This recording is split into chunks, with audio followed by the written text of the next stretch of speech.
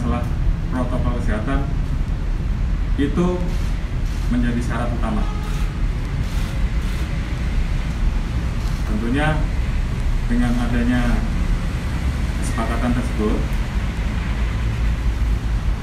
kita harus sama-sama menjaga dan memegang komitmen baik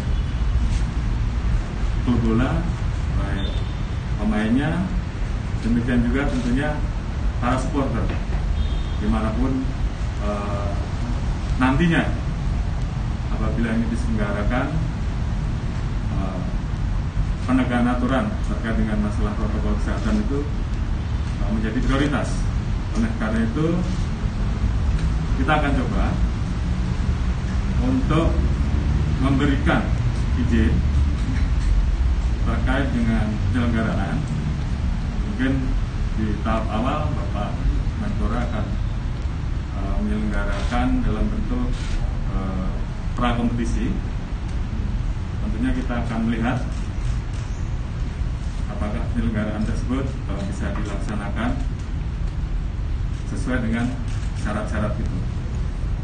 Kalau syarat tersebut bisa dilaksanakan, tentunya uh, kita akan memberikan evaluasi-evaluasi secara bertahap sehingga tentunya perjalanan dari penyelenggaraan kegiatan itu uh, tentunya bisa semakin baik. Oleh karena itu tentunya harapan dan komitmen uh, bagaimana penyelenggaraan pra kompetisi ataupun kompetisi nantinya dengan tetap memegang teguh aturan, menegakkan aturan protokol kesehatan ini betul-betul bisa diterapkan. Oleh karena itu kegiatan-kegiatan pertandingan seperti negeri, sementara pertandingan tanpa penonton menjadi salah satu yang akan kita coba. Tentunya dengan tahapan evaluasi. Artinya kalau itu semua bisa berjalan dengan baik, kemudian penegakan aturan terkait dengan protokol kesehatan bisa berjalan dengan baik, maka terkait dengan program kompetisi selanjutnya kita akan memberikan kelonggaran. Sebaliknya, bila itu tidak bisa berjalan baik, karena ini menyangkut masalah keselamatan rakyat, keselamatan masyarakat, tentunya kita akan uh, melakukan evaluasi evaluasi.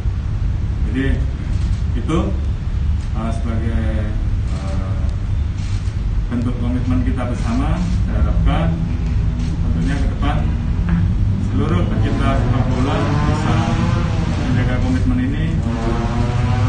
kemajuan bersama bagaimana kemudian masyarakat mendapatkan hiburan bagaimana kemudian kita bisa memilih